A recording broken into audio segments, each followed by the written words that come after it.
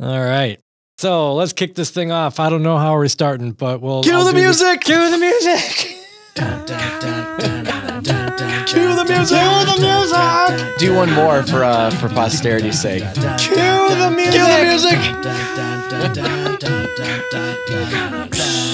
It's always good. All right. Ah, it is good. Do love our theme tune. Thank you so much for building that. Yeah, and you know, it can change over time and it might. All right, ladies and gentlemen, welcome to Composerish.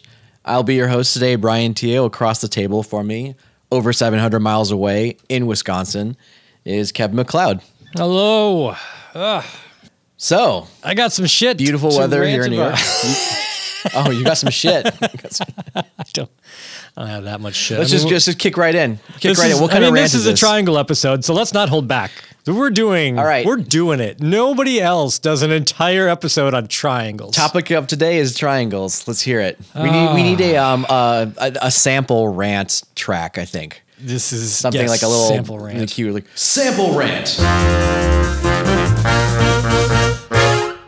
Why are triangles so hard? Yeah, it's really a dumb instrument. Like it's an incredibly useful instrument, but it's, it's one of those like auxiliary percussion things that comes in a pack for like little kids. That kind of like Yeah. with the recorder and the tambourine and maracas. And I agree with you. I think it's difficult to find a good one. Yeah, like I bought a like a harp sample pack. It's like 150 bucks, 200 bucks or 150 whatever. bucks for a harp. Yeah, well, a real harp is like two thousand dollars, but in this case, a real okay. triangle is like four dollars, and like the best sample pack I have is that's darn near a thousand, and it's okay. Wait, wait. Well, I mean, how much do you think a sampled triangle should cost? If a harp, I mean, does it scale? A harp costs like over two thousand dollars. Oh, concert harp? Oh, they're yeah, they're huge, they're expensive, they're heavy, they're awful. So two thousand dollars probably minimum investment. to Minimum for uh, Like, yeah, used fell off the back of a truck harp. And I have no idea how much a triangle costs, but let's just say for the sake of argument, it costs four dollars. How much would you be willing to spend for a sampled triangle? I would pay like eighty bucks for a good sample triangle. really, eighty dollars. Like like eighty bucks. Like if if it, if it would give me all the things that I want, and I can do like you know Latin grooves on it, I'd pay eighty bucks for a real good triangle. Yeah. okay, well, how much? What, what sort of things does the triangle need to be able to do? Well, let's take a let's take a listen to a couple triangles. Q East West Storm Drums Cajun Triangle. Take a listen.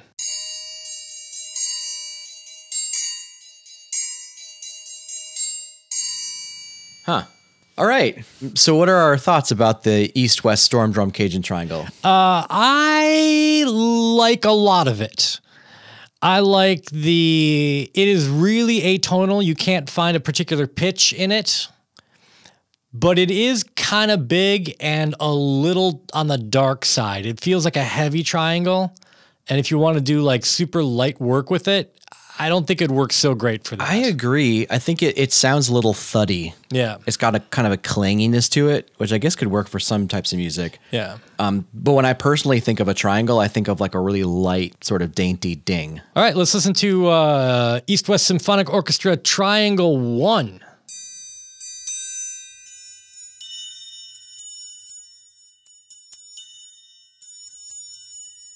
All right. There's your dainty ding, right? That'd be a great name for a band, by the way. The Dainty ding. Hey, we're the Dainty Dings.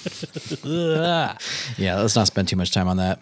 Um, is there a mute sample in there? nope. Oh, Well, there there is a muted sample. Really? You heard it in the in the play there. Oh. But what it doesn't do is it doesn't mute an already ringing sample. oh. So you- it's, it's really not playable. the already ringing sample you would you would have to like somehow like manually kill all the tails on those in order to get them muted. So Yeah, I feel like you'd have to bounce the track out to audio. yeah. and then cut off manually. All right, let's try uh, Symphonic Orchestra Triangle 2.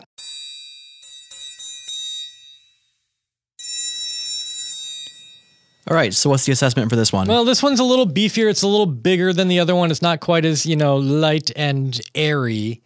And the problem is if you're trying to do patterns with it, like down, down, down, like that kind of stuff, uh, again, it doesn't work. The the samples are just triggered and they're they're never muted back out. And yeah, you can make a triangle line with it, but oh my god, no. I don't I don't have the time. no, I mean, It's who's gonna? triangle? Hey, man, I spent all last night working on this sick triangle line. Check it out. and that seems like a thing that would be pretty easily fixed through some not even super slick scripting. That would just like you all you need to do is trigger Yeah. like a really quick taper whenever another like a, a mute happened. Yeah. Is it just me or does it sound like the after the it's muted it actually goes on for a little bit longer like in the room sound? Uh, after well, that's because it's just bleeding through from the strike. oh. So triangles just don't stop dead when you squeeze them. they should. Yes, they do.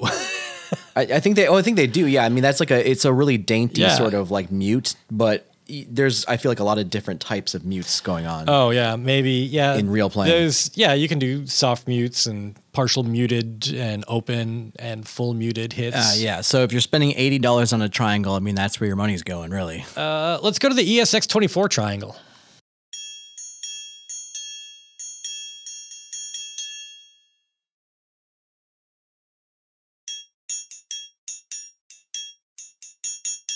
All right, you got thoughts on this one? Th- This this one's free, so that's great.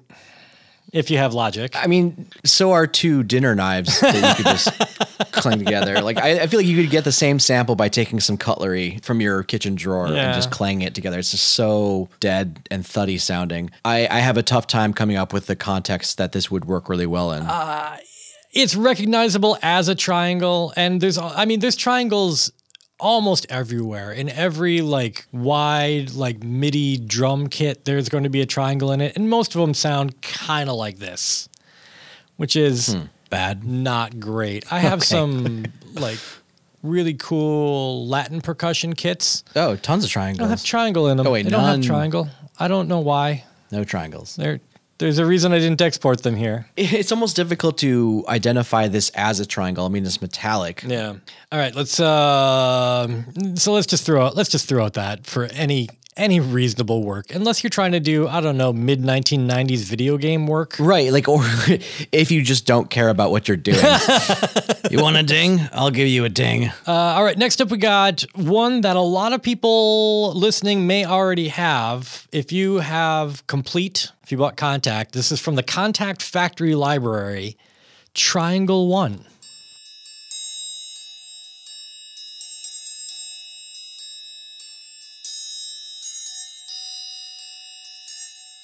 Same muting problem as before. Man. It'll play a mute sample, but it won't mute the already playing triangles. yeah, this almost reminds me of like Crotales or something.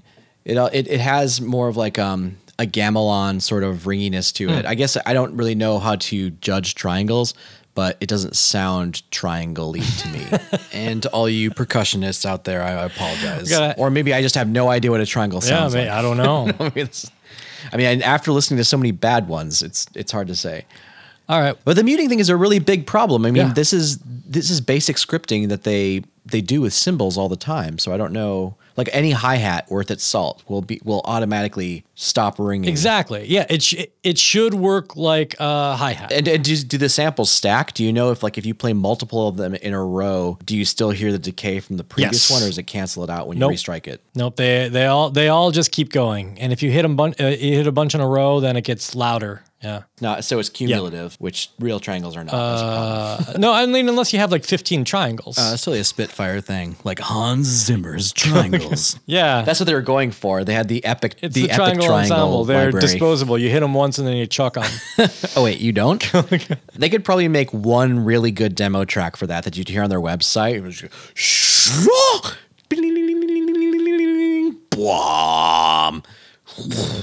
Epic triangle. All right, last the last bits I have here are the CinePerc triangles. Uh, this is a really long one. Oh, you have so- uh, Kontakt factory library triangle. oh yeah, we two. can yeah we can listen to that.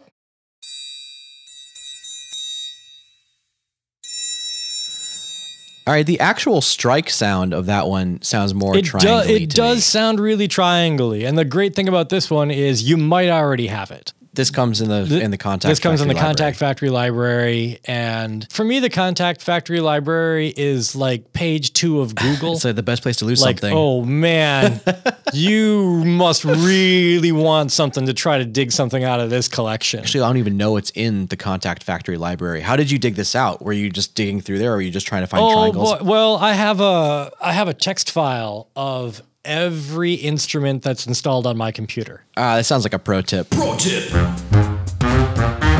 So yeah, it's I don't know. 3000 lines long or something like that and i just and i just open it up and then you know command f triangles and then it showed me all the triangles that i knew that i had Oh. and where they were located So you use this to find out like where your instruments are stored. right? Because there's no one. I mean, everyone says that they have. It's like, oh yeah, you can use the Komplete thing, and you can even load third parties into our VST. And they're like, no, I'm not running everything through your VST just to get a search thing. I can't just say, you know, import these 15 libraries. You still have to type them all in. Eh. So. A text file never goes bad. You don't have to worry about it. Yeah, and you can cross-index where all of your crappy triangles are stored. I think um, one of the reasons why nobody has come up with a better one is maybe because it's just not worthwhile. Like there's a law of diminishing returns, right? You could spend probably an awful lot of time creating a very accurate triangle, but how much do you think you can realistically charge for one? 80 bucks. I agree with you. I would spend if I could find a decent triangle, I would actually probably spend almost a hundred dollars. I don't know if I would spend over. I don't think I would spend over a 100. You know, I mean, it's ridiculous, right? But it is such a useful instrument, and it's come up several times when I've personally been doing uh, creating Yeah. tracks. And because you brought this up, I'm assuming Oh, yeah. you have as well. No, it's a pain. and then you realize everything is like a clanger, it's just like dunk. Nope, that didn't do it. Right. And like doing like light orchestral work for cartoons and stuff, you don't need a lot of the muting and the fancy stuff. Or the room tone, actually. I think, because especially for cartoons, you, I want a very dry sample sound. And the problem with a lot of these orchestral triangles are it, the, room is like baked into the sample. So you get this cavernous triangle among these super dry pizzicato strings, which is just weird. All right, so we have a couple more to listen All to. right, so am I yeah, correct? let's go to the let's go to the big dog here. This is uh, tr- uh Triangles, and there's like five of them.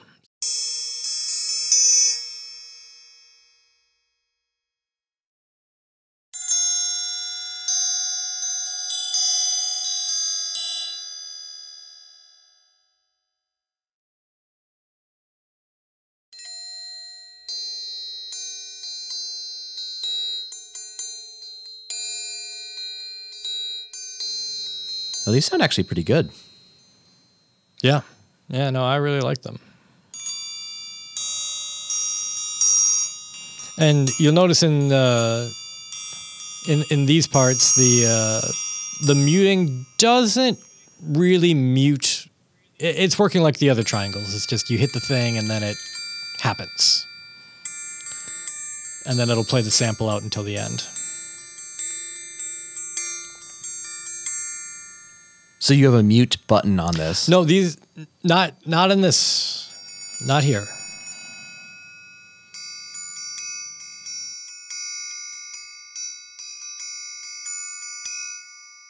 oh yeah, you can definitely hear it there. One of the samples is muted and the other one just keeps ringing. Yeah. I like that it does give you several sizes. Yep. You get like five or six different triangles, maybe seven. I I don't remember. Really long decay though after you mute. on that. Right. So, but what Cinesamples does do is they have triangles with muting. There is a muting thing, and it works kind of like uh, like a hi hat. So uh, Yeah. I'm gonna listen to that right now.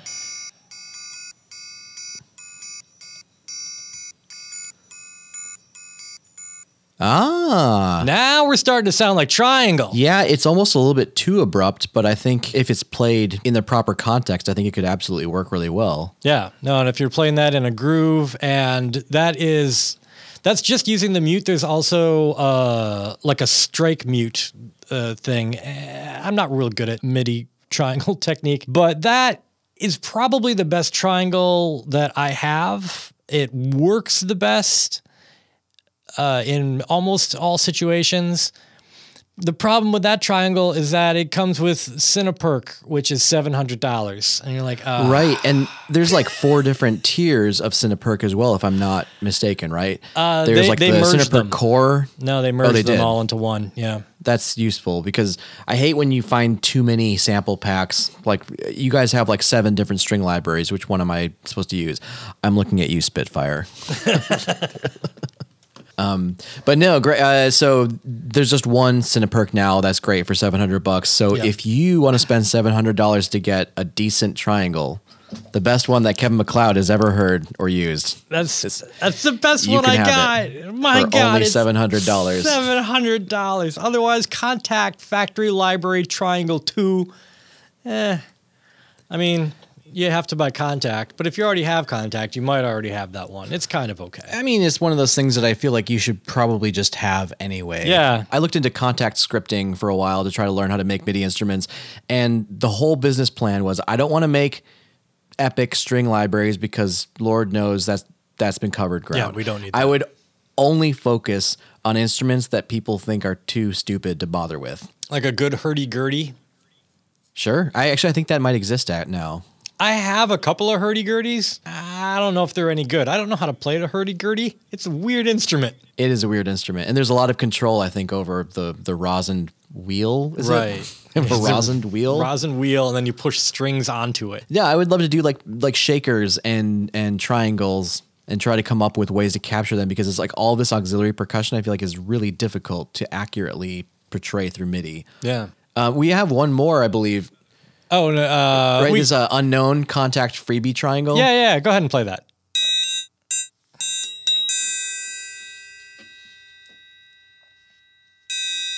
that's not bad. Yeah, I wish I could recommend it because I forgot where I got it from, but it might be one of those Cinesamples freebie packs that they give away every now and again. Yep. And I just looked it up. You can find this if you just Google Cinesamples free triangle. I have this one in my collection actually, and I think the last couple times I've needed a triangle, this is what I ended up using. Okay, yeah. So what what are your go to triangles? That's the one that I use the most often because I like the way that it mutes. Okay. Um, I'm able to actually play it.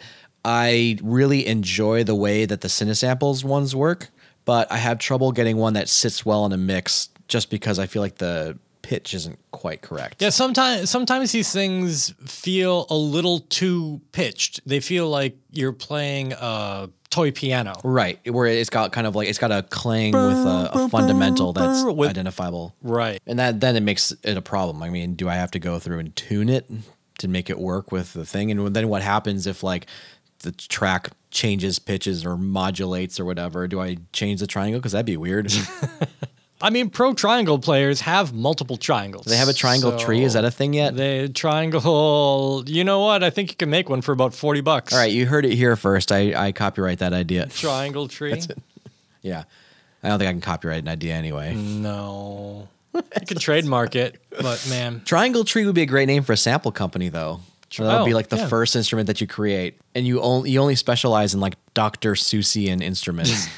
there's a lot of tubes and funnels going on here. A lot of tubes and funnels. I have an entire instrument that is just a sampled um, squeaky toy giraffe. Oh. yeah, I think it's actually called the Atmaraf, um, and I want to say that it's orange tree samples. It's a lot of use for that. Does that come up often? Um, I have used it exactly once in an animation, and it was Okay. because a character was really disappointed, and I thought it'd be really funny just to have like a little.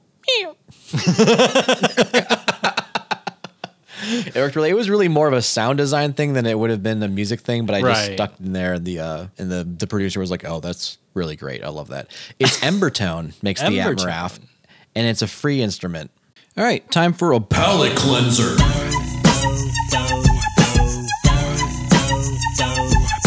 Um, So I came across an article the other day, and I wanted to know what you thought of this. It is um, how to make money from home if you're a musician in 2020. Which, considering that most people are working from home these days, Yeah. um, due to the quarantine, I think there's a lot of people who were either touring musicians or maybe they dabbled in music before or are now trying to make a buck. And this article seems like it's tailor made for them. I'm going to send it your way and let me know what you think. All right. Okay, got it. And yes, I've I've seen this one. This came through my email. This is marketing for Arcade. Output Arcade, which is a what do they do? Mastering tools? I don't even remember. I, I have actually no idea. I read uh, it's one instrument to rule them off. Arcade is a sample playground with new. Wait, we need like um some sort of like infomercial theme music to go back here. All right, we got it. Um, Here we go. All right, great.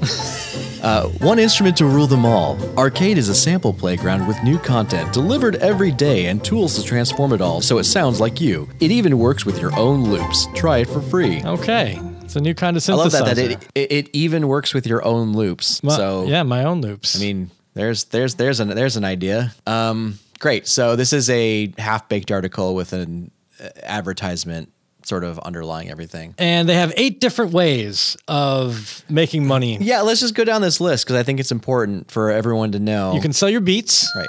production music libraries, sync catalogs, Fiverr.com, distribute your music on streaming services, Patreon, Bandcamp, merch, and that that that's it.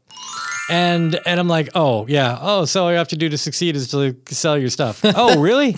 all you have to do to sell music is just sell music? Who knew? My my uh, my my girlfriend's aunt when she found out that we were experimenting with cooking some Chinese food and stuff like that, she's like, "Oh, you guys like Chinese food? You should go to China. You guys would love it there." It's like, "Oh, I never thought of that before. That's such a good." Like, all right, sorry. You so you talk to people that actually do this. actually do this. What are some actual strategies aside from if you want to make money making music, just sell it? It's just sell it. Yeah.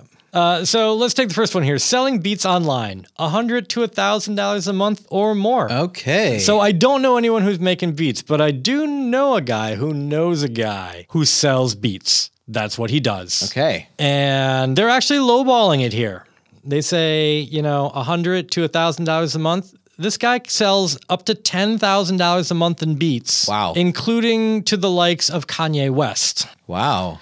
So you think Kanye West is doing his own beats? Probably not. He's just paying somebody to, to do those beats. Can it Little, be done? little yes. insider information. Little insider information. Well, how many beats does he make a month in order to be able to pull in that sort of money? Is, do we have any of those figures? Uh, I th- I think he's in like the like two to three beats a week territory. okay, that's a reasonable amount of work But- for making like pro level production. Right. The the problem is getting your beats in front of someone. In order to make this go, you need to know a guy. Yeah. This is not stuff that's being sold on anybody's website. This is all person hands like you know, like almost a drive to another person, or you know, sends an email. Right, I'm Here's the new guessing beats. this is probably when having an agent or friends in high places is definitely useful because Yeah. simply slapping it on a Squarespace site or on like Audio Jungle is probably not going to net you very much money at all. yeah, probably no. Especially when it seems like the market is really saturated. I think there's That's a lot what- of people. that's what I thought. Get into production through hip hop beats and dance tracks. Because hip hop loops are so cheap and easy to get. Why why are people spending a hundred, a thousand dollars for a one off of basically a, you know a collection of five loops? I, I thought for a second you're going to say it was so easy to make, and I was like, oh, you got to be careful with that. that's uh, There's I feel like it, it's deceptively difficult. The- I mean, if you if you get the the software like Maschine, where all it does is make beats, and then you just load up your load up the new sample files into it, and then you play it through all of your MIDI beats that you've made before. Like it's gonna sound good. Like you can make a lot of stuff that sounds fine, fast. but I wonder if the people who are are making a bunch of money at this are maybe not doing that. they are not doing that. I mean, this is an important distinction to make is that just because you can get up and making beats pretty quickly, the people who are making money doing this are probably creating custom methods Right. and finding obscure samples to use and doing a lot of mangling on their own and maybe some custom processing, et cetera, et So selling beats online, I'm not going to call it complete bullshit. Selling beats is real. Selling beats online, good luck. Good luck finding uh, that because that's just all marketing now. um, it's a, a real grassroots thing. I feel like you'd probably have to go to a lot of shows, talk to a lot of people Right. until you start. You're not going to be doing this from rural Kansas. You need to be in a scene. Interesting. Yeah. All right. Production music libraries. $250 a month to unlimited. I do this. You, I don't think you do this. Nope. And then they give us a list of libraries uh, in the article, which is like a, it's like a hundred. Most of them pay almost nothing. It's a lot of effort to get your music listed up there. It's a lot of effort to get all the metadata in there. and almost none of them pay. Uh, apparently, right now, Audio Jungle is still winning. It seems like you don't get any payment to get your track into a library. Um, from my understanding, they'll pay you a couple hundred dollars if it's included in like a pitch to an ad company or something. okay. And then if it's actually selected, they may pay you more money and you'll get royalties and all that. And the big money is, I think, in the royalties that you get afterwards. But and the production the production library will take a chunk of that. I think that comes under sync catalog. Oh, okay, great. I think the production library stuff is largely like YouTube videos, production houses. They'll spend there between fifteen and hundred dollars on a track to use in their in their show. Got it. Uh, so I do know somebody who does this for a living. He's top fifty in Audio Jungle, so he makes about four grand a month. Uh, he asked me not to mention his name because of I don't know some sort of Balkan f- blood feud thing, but I'm not going to get into that. well, now I think we have to know who this is. I want to know No. who I know that's a Vulcan, no, I don't think we need to know.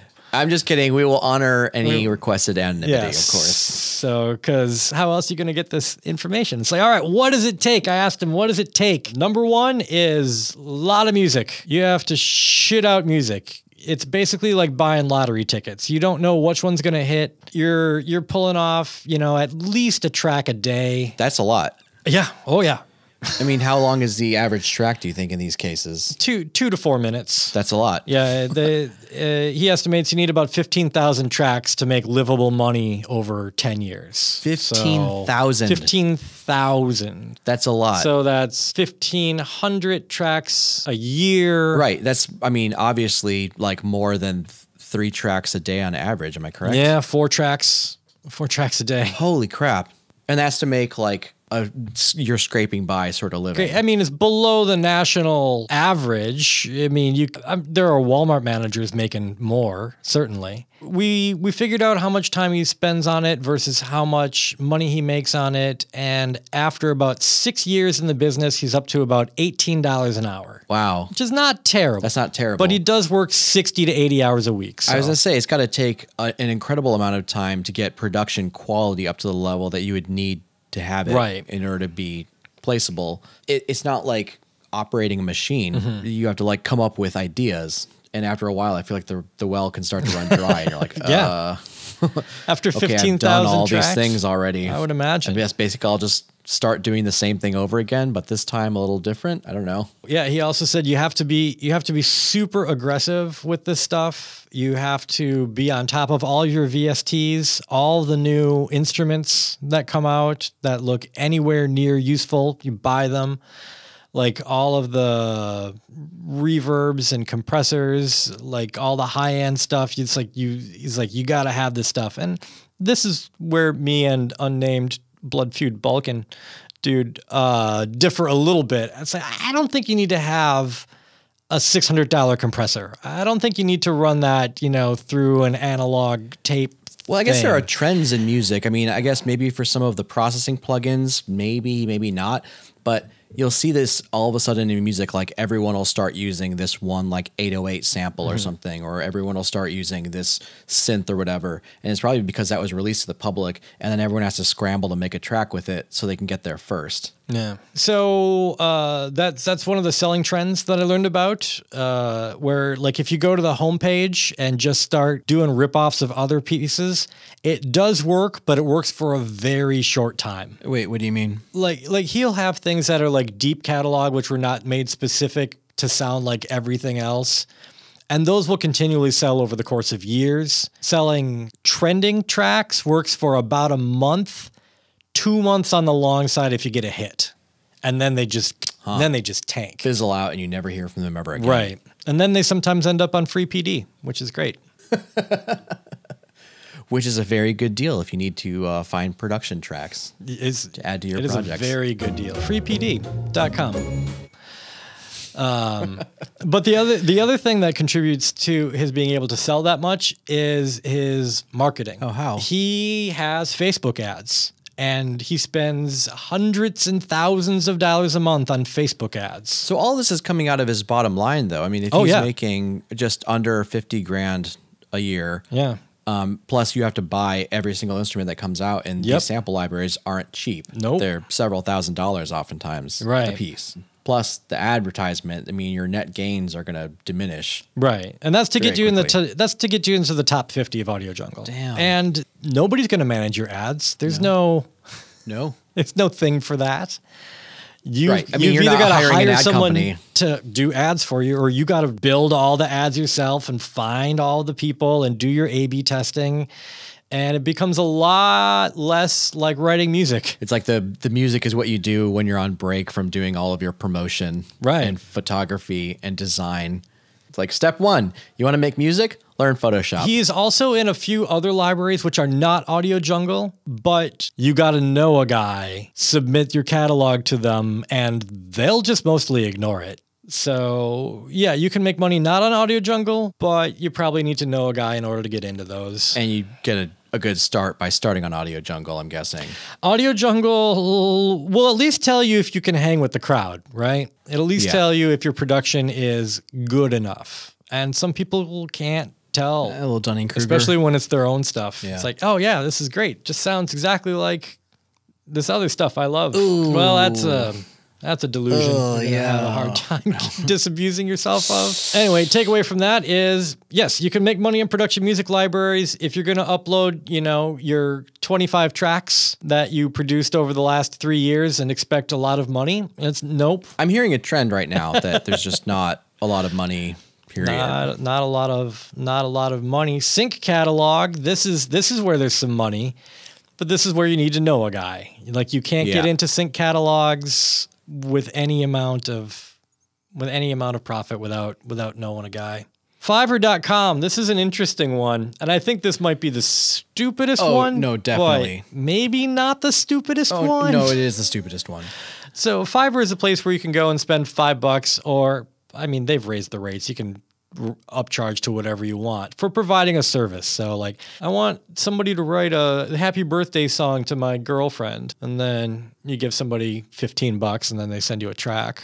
You can do it, but uh, again, the marketing required to make this go. Well, and you're looking at, I think that the not only where to sell, but where people go to buy. Yeah. A lot of the people going to Fiverr.com to purchase music probably don't have the deepest pockets and are probably looking to spend very little. That um, they are. I, I looked into this a little bit when I was trying to figure out what I can do, and it seemed like most of the bids for projects were like a race to the bottom. Yep.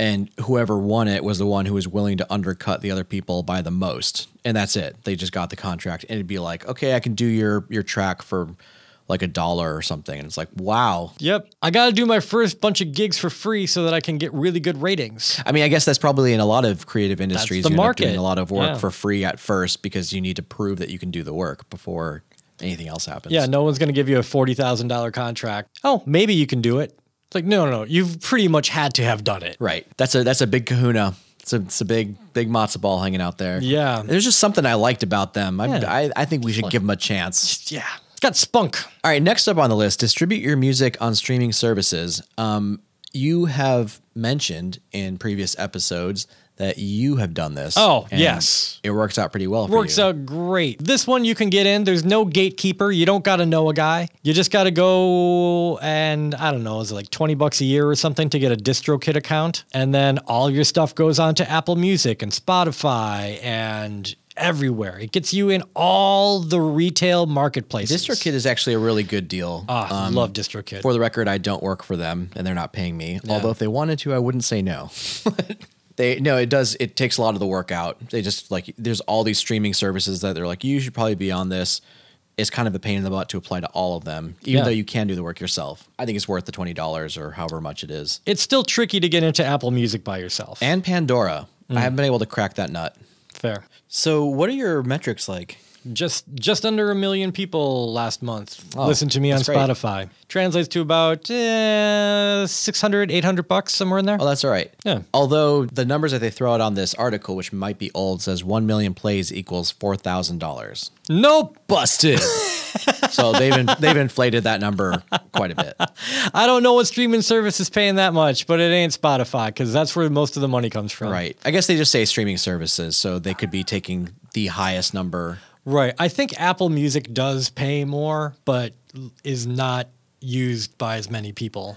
This is an interesting thing that I see an awful lot of creators doing. Um, I've never done it myself, but I always kind of wonder how efficient this is.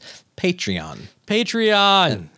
And they say $5 per subscriber seems to be their suggestion, although I've, I've Yeah. seen everything from like $1 to like $50 a month yeah, and it, subscription packages. and it averages out to about five bucks a person. No, this this is great, uh, especially for you, who is a beloved uh, composing personality, Oh, beloved. charming. Everybody Is- wants to be, uh, and then they get cool stuff from you, and you get to be their friend, and it's really great. So it's, it's reasonable, the uh, ability to, to create a community around this. absolutely reasonable. What sorts of things do you offer as perks? Uh, very, I, I see this a lot. when, when when people are let's say illustrative artists, they will offer like a sketch of somebody's avatar or profile or whatever as like one of their perks, and people get to vote on what they create next. And there's all Right. these sorts of things. Um, with the music thing, it seems a little bit more hazy. Like, I mean. Are you writing custom jingles for everybody that donates, or what? I that's not how it works for me. That's not how it works. Like I've started, I don't know, several podcasts in the past and they've gotten those podcasts. Like I'll do work for a company or something and I'll end up with a product which, you know, isn't really publishable, but I will give it to all my Patreon subscribers for free. Most of them will ignore it. Like what would what would you inform your friends about? If you were going to make like a blog post, like let's say there was some sort of social media thing. It's like Facebook but with only people who like you. It's the it's really good. And you know that they like you because they're paying you money. They're paying how- your money. the- Otherwise, they're self-loathing, and just you know that's fine. as long as they keep paying me money, they can load themselves as much as they'd like. Right. Yeah, you don't have to give a, like I've given out uh, I did custom ringtones for every subscriber uh, once for remember my birthday. Uh, another time I made custom paintings and sent them out to everyone, you know. I'm like a slot machine, keeping it random. So these people are are investing in you as a personality, not necessarily you as a composer. Right. Because right. they're They paying you like what- five bucks a month, Right. and they might get a painting. They might. Probably won't. I'm never doing that again. God knows what I'll be excited about, you know, next year or later this year. Puppets. The future is puppets. Futurist puppets. Everyone gets a puppet. Oh my God. that would be a lot of That would be a lot. I think you'd have to create a new tier for that because I think creating one puppet seems like it's a lot. All right, so Patreon, reasonable. Yeah, no, absolutely reasonable. And as long as you're out there and giving people what they want, you know, you're throwing up YouTube videos, explainy things, then yeah. And you you just post what you would have posted to Facebook. Patreon. Patreon.com. Com. Just for the record, I mean, what what is your Patreon? Patreon.com slash K MacLeod. K M A C L E O D. So, So, ladies and gentlemen, can- wait, where's the, where's do we have ad music? We need more ad music. yeah, ad music. add music. Cue the music. Patreon.com slash K MacLeod. Slash You too can join the League of Extraordinary People. I don't know. Yeah, it's like My two bucks. listed. Two bucks, you get almost everything. Bandcamp seems like it's similar to, um, well, what like the Fiverr thing, maybe. I don't know. This is more of a you thing. You you sell on Bandcamp, right? I yeah, uh, you can actually do okay on Bandcamp. It, it depends obviously on your audience base, um, and digging into a niche style of music seems to be useful. If you make just more general music, like if you're in like a, a rock band, it might be more difficult unless you're going out and playing shows and touring a lot. But once you have people that are subscribed to your feed that start paying attention, and it, assuming you continue releasing music, you can actually make an okay amount on that. Yeah. Do they do merch stuff too, or is it just all digital can- downloads? yes. Or You can you can do anything on there. So um, I have sold digital downloads as well as T-shirts and button packs. okay, Um, I have seen other people do like vinyl records and stuff like that. I mean, you can sell pretty much anything. I had a friend who actually spent an awful lot of money to print a CD album because she she really that was what she grew up always wanting. So I Okay. want to have a CD. I want to put out a CD. And then when she sold the first several, people would just take it, stick it in their laptop, rip it right there in front of her, and then give her back the CD and be like, "Here, do you want this back? You can just like resell it." Yeah. And she's like, "What? No, this is yours. You bought it." And like, "Yeah, I don't need it." Don't don't really want stuff. I mean, it was nice that they supported her anyway. Yes. But um, Um, there's one more on this list though, of ways to make money, and Yep. it's just merch. Merch. says merch. Merch, which is another one that comes down to marketing. Marketing, right? It Marketing. seems like m- selling merch is a thing that is more viable if you're a touring group. Because I think if people go to a show and they enjoy it, they're going to be more willing to spend money on a shirt than if you have to ship it to them. Right. But you got people like me, I'm never going to go to a show. I also don't have How any band shirts. Yeah, never. I get merch sometimes. People send me merches. Let me tell you this. If you want to support a touring musician, buying their stuff at a show is probably one of the best ways to do it because they just take all that profit. Yeah. Like the the best way to do it is get your own t-shirt, grab a Sharpie, draw on the whatever logo you wanted and then support them on Patreon cuz they get almost all of that. Maybe maybe I should offer uh, merch uh, templates on Patreon. All right. So this article is any of this I, viable? I thought this article was the worst until I started talking to people, and I'm like, oh, it's it's less than the worst, but it's still, I think, misleading. it grossly simplifies the process, I think. Yeah. Because again, it does come across as would you like to make money making music? Well, you should sell it. Eh, Yeah. Okay. It seems like right now, from this discussion, the fastest ways to get up and running with making money making music is to put stuff on Audio Jungle, maybe start a Patreon. Yep, Patreon costs you nothing to start. And neither does Audio Jungle, actually. Audio Jungle costs you nothing, and then also get on DistroKid so that you can get into Spotify and iTunes. Right. and- Which does cost a nominal fee, but it's a one time for the full year, and it's incredibly, I, I think, incredibly worth it. And then you have to try to wisely, sagely split your time between music making and networking, right, which seems to be a terse balance. But or music making and marketing. It's both. It's you know, they should teach that more. I think in music school, You don't say. have marketing courses. Yeah, if you're if you're thinking about going to college and you want to be a musician, absolutely 100% go into business and marketing. There's your big takeaway. All right, it's got a spicy finish, and then maybe someday you two can live in poverty. Cue the music. All right, that's the takeaway. Great. That's all I got. That's all I got. All right. It's been great hanging out, and I'm looking forward to the busking episode. I hope that one's coming up soon. Uh, we, we can make it maybe as soon as the next one. Until then, all right, sounds keep good. Keep on writing.